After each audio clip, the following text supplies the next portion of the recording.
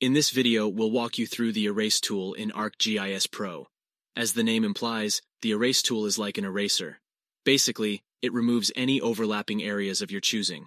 Whatever gets erased is permanently removed from the output. Then, it keeps just the remaining features in the final output. The Erase tool is actually a really useful tool in GIS. Today we're going to test out the Erase tool with a practical example using ArcGIS Pro.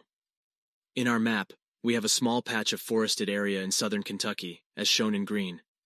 Let's say that we had a large forest fire that ravaged through the area, as shown in the orange hatch. If there's no longer forest cover there, how can we represent that?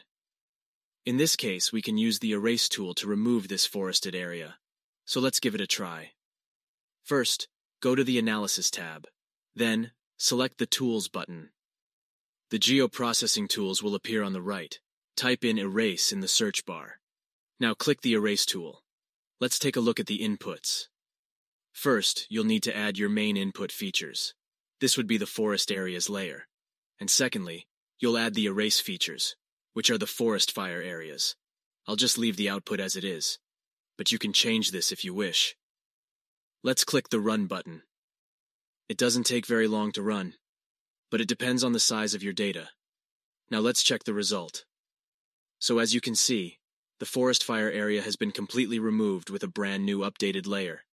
It's a pretty handy tool, to be honest, and it has a lot of different applications. Well, that's about all I have today for this video. Thank you for watching. I hope to see you again in the next video.